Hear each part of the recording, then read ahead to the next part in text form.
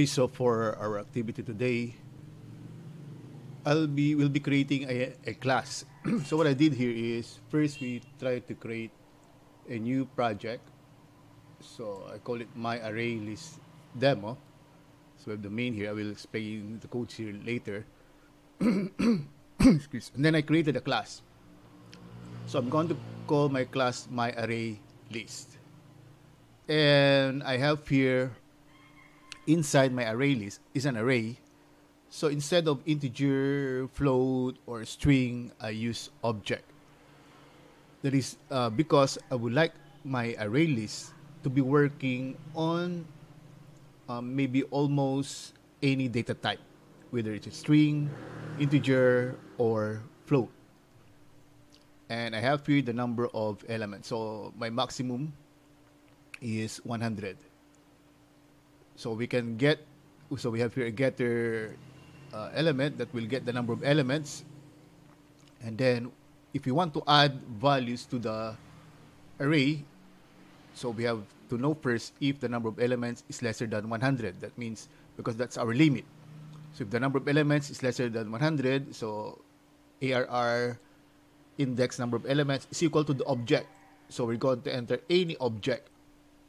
So again, it can be an integer or a string. And then, excuse.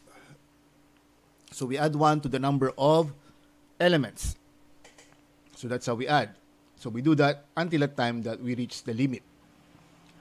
Then to display, so we have here a simple display, and but we'll be uh, maybe revising this later. But for now, we'll, we'll be doing this. So this will just loop from zero to the number of elements, and that is if we have elements. That's element is greater than zero, because if it is zero, that means it is empty. We don't have to display anything. So uh, if we have elements, so we loop from zero to the number of elements, and then we just print the array index by i. So let's display. Then we have here now sorting. So we already know how to sort.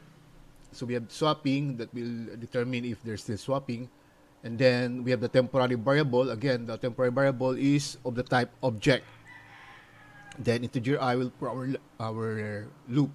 So while there is swapping done, we keep on comparing the two uh, adjacent elements, yung magkatabi.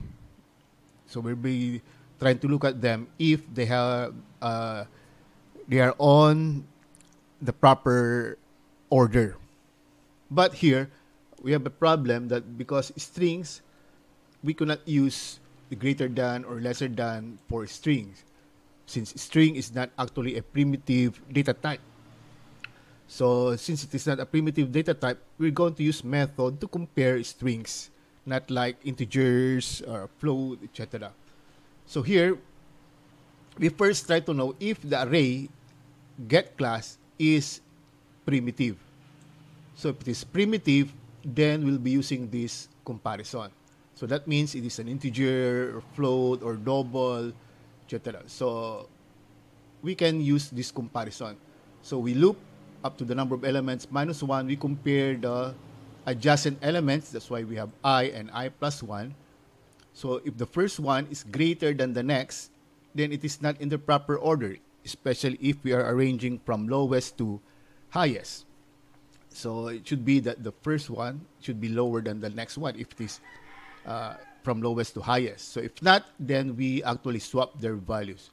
So this is swapping element of the first element to the temporary, second element to the original location of the first element, and the temporary value to the location of the second element. So we have interchanged their values. Since there's swapping done, we change swap to 1. So we do that until the time that there will be no more swapping. That's why we reset swapping to 0 every time we start with a loop, with this while loop. So that if, let's say, we pass through this and it did not pass through this uh, statement, then that means that the array is already sorted. However, what if it is not primitive? So if it is not primitive, almost the same, but this is our comparison. So if it is not primitive, then maybe this is string. So how do we compare string? We use the method compared to ignore case. So ARI string is compared to ARI plus 1 to string. Now, if it is that if that is greater than 0, then that means that the first element is higher than the next element. If it is lesser than 0, that's lower or equal to 0, that are that means they are equal. So we place it greater than 0, then we the same, we actually swap their places. And that's it. So we have now sorted the array. so let's try to demonstrate. So what will this program do? So this, this program, or this program do is to create an instance of the my array list, and then we add, try to add values. So we have the add method. So we have m that add five, three, one, two, four. So I have four, uh, five elements. So m that display is will display the elements. m that sort, then it will sort the elements. Then I have here a some sort of a separator, then again display them. So that means that the next display should be these values sorted. So let's try to run the program. So let's try to check. So that's our output.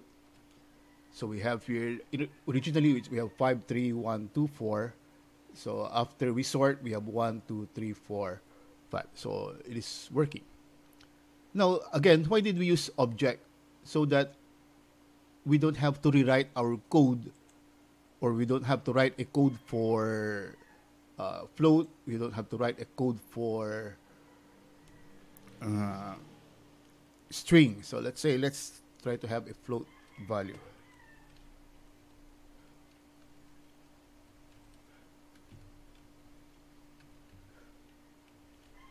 so to, for this to become float we have to place f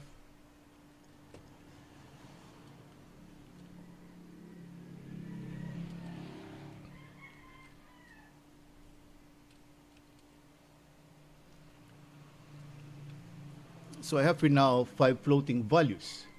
So if I run the program, let's try to check.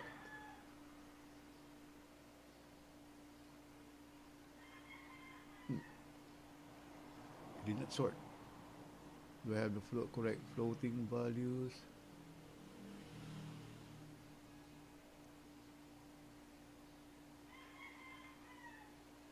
Mm, so that means we have still problem with our sorting using hash code.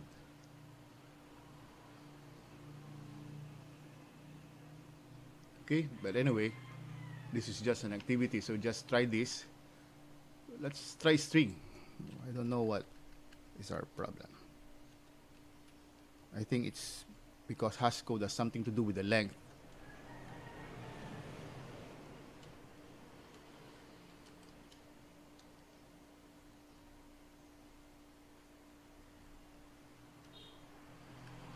let's just try. If there's something wrong with sorting. If there's something wrong with sorting then we will skip that first. So this is actually an unrehearsed video.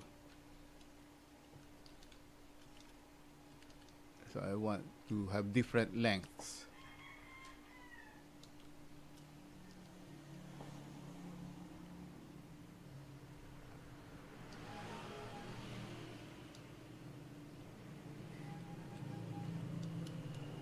Okay, so let's try to run this program.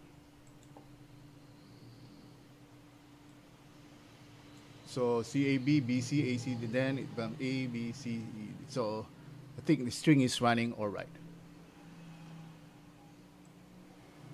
So I think the problem is with hash code. I think hash code has something to do with length. Okay, so we can use a string. How about let's go back to integers with different lengths.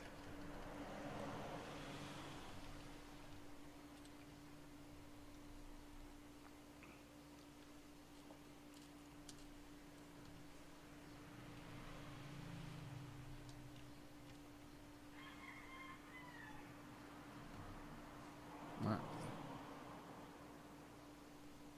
Okay, let's set run the program. so it is only looking at the first value So it is treating them as strings. If ARR, what if I place ARR? Ah, Let's get glass.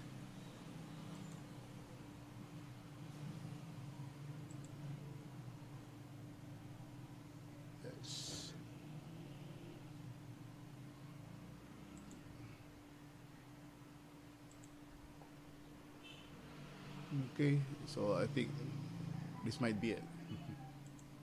Let's run the program.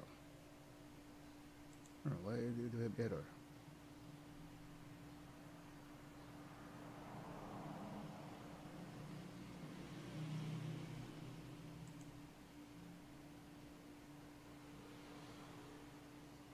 Hmm.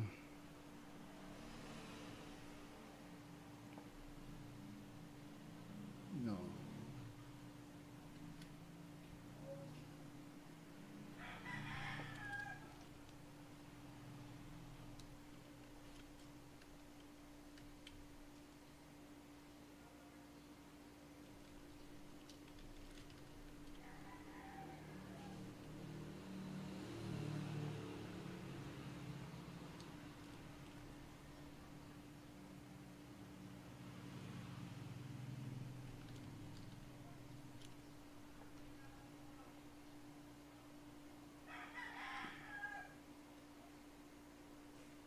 Anyway, so that so that will not waste time. So for your activity, I would like you to add search algorithm. Anyway, for search we just compare. So we also use compare. Uh, maybe almost similar to this.